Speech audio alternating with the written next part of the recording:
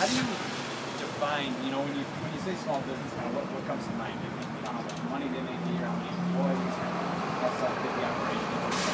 Yeah, I mean, it's a little bit of all of that. As you look at the number of employees that they have, uh, you look at kind of the size of their operation. Um, but and as I travel throughout the 32nd district, uh, a lot of the, the main streets of our small towns are made up of small business owners or mom and pop operations. They are stakeholders and uh, in their community that they've been there for generations.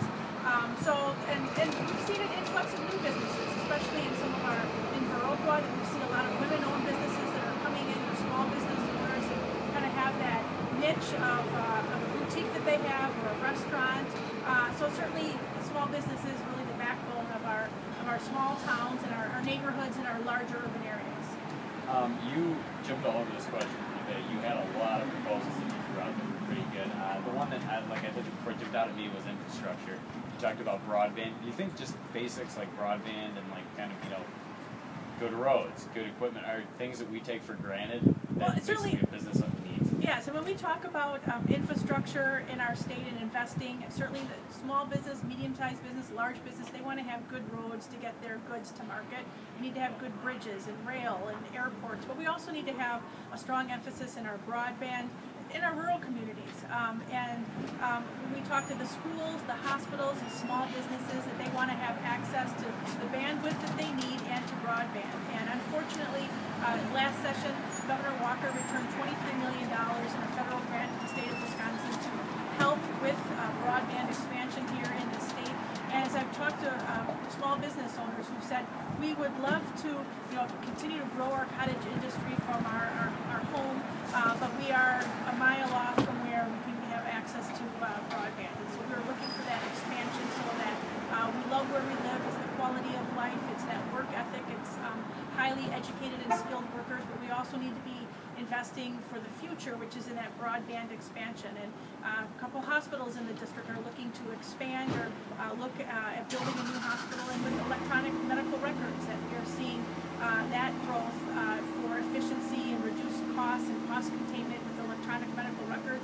So again, that bandwidth, that broadband that is being brought into uh, our rural parts of the state, it really is, it is critical in looking to the next to, uh, century here. Um, one of the other things that I know you're a big proponent of is you talk a lot about, you know, you're willing to basically work with Republicans, you're willing to compromise. Your record in the legislature supports that.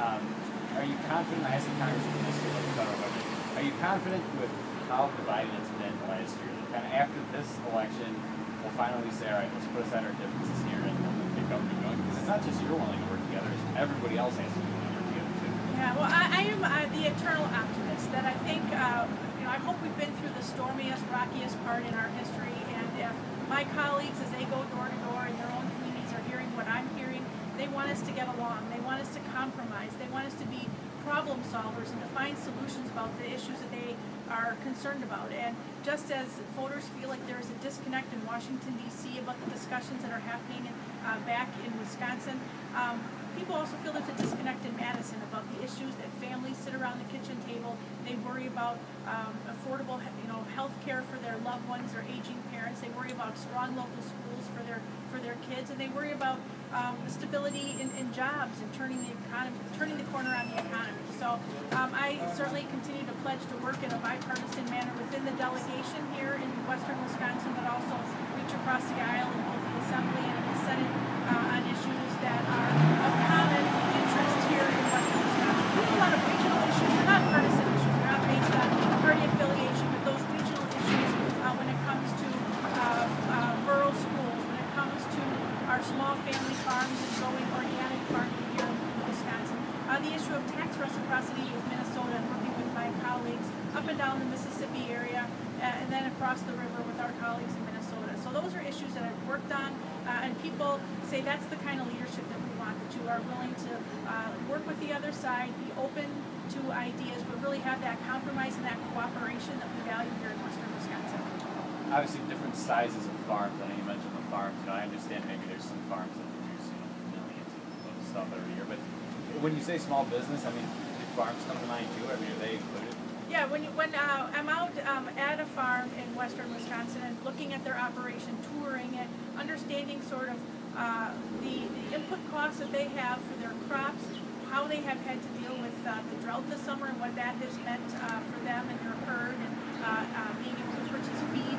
That those are all issues that, that they see themselves as small, as small business as well, and they certainly are. And we need to make sure that here in Wisconsin, agriculture continues to be that, stable economy. It's a $59 billion economy here in Wisconsin. We've seen um, exports grow in our um, agriculture uh, area, and we need to uh, recognize that while we're seeing some increases there, they certainly continue to struggle with high um, healthcare insurance, the high input costs that they are seeing, and we will they will still see some ramifications of the drought as they go into the next planting season. That's all I got for you. Okay, thank you. Thank you for your time.